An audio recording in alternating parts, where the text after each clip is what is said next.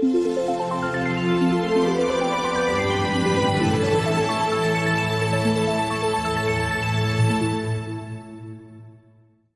京时间二十号中午十三点三十五分结束的一场 NBA 常规赛中，雷霆主场迎战国王。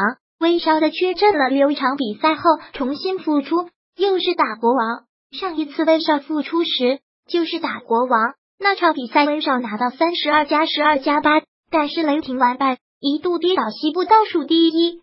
如今雷霆风调雨顺了，恰逢威少又复出了。和国王再度重相逢了，没想到又输了，一百一十三到一百一十七，雷霆错失登顶西部榜首的良机，威少心里难受了。数据方面，国王这边，香波特上半场二十三分，全场二十三分；希尔德二十五加四加二，别理查十二加八，波丹是六加五，巴格利这小伙子有前途，十五加十三的数据挺好。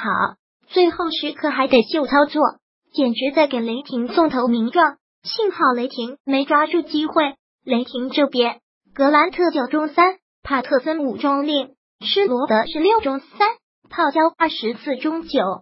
这都什么跟什么啊？威少本场出战三十六分钟，二十五投十二中，拿到二十九分加十三个篮板加七个助攻。今天该威少背锅吗？杨毅老师有一句话说的特别好。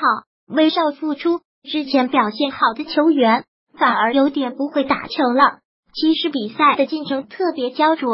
国王第一节凭借着香波特的连续发力，从十四比二一路干到二十七比八。施罗德在打铁，泡椒在打铁，亚当斯在失误。威少一看没人了，自己来吧，连拿七分。泡椒三分命中，国王单节三十七比二十四领先十三分。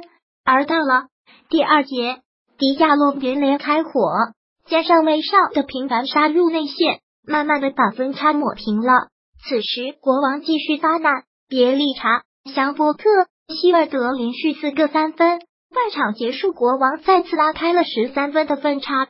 进入第三节后，泡椒终于醒了，率队十比二的小高潮后，迪亚洛、亚当斯、威少也在轮流得分。双方从第三节一直僵持到第四节中段，国王又开始了。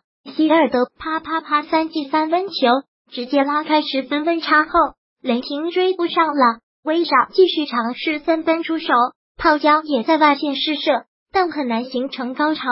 最后时刻，巴格利脑子犯糊涂，给雷霆充足的进攻时间，但是罗德连续两个三分擦框。比分最终定格在了一百一十三比一百一十七，威少不在时，雷霆五胜一负，仅仅输给了独行侠。威少回来了，又输了。相信很多球迷会说威少背锅，给威少开会，但今天真不赖威少。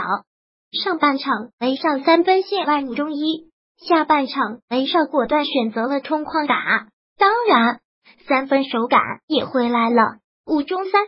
再看看其他球员数据，格兰特九中三，施罗德是六中三，帕特森五中零，很多纯得分手的这种表现，雷霆是无法赢球的，相当于缺个得分的大坑。不过对于雷少也挺尴尬的，最后阶段还和香波特在罚球线吵了起来。显然，威少特别在意本场比赛的结果，看着自己的球队当自己不在时打的激情似火。连战连捷，自己回来了，球队却输球了，他很难受。不过威少也该回来了，下一场的比赛后天打勇士，威少是时候展现你的能量了。